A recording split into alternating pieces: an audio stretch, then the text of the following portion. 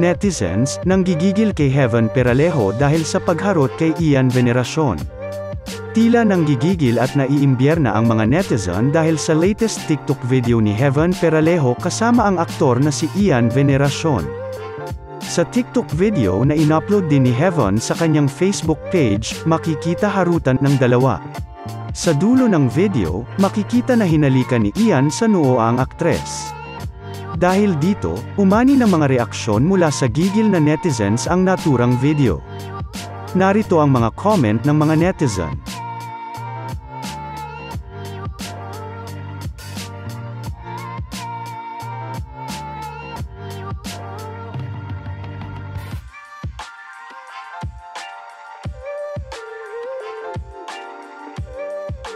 Anyway, kabang-abang na ang pagsasama ng dalawang showbiz personality sa isang proyekto.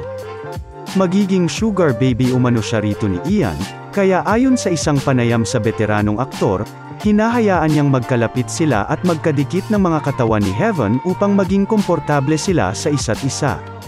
Ipinakita pa ni Heaven ang literal na pagpapaikot sa kanya ni Ian, bilang paghahanda sa ilan nilang mga eksena.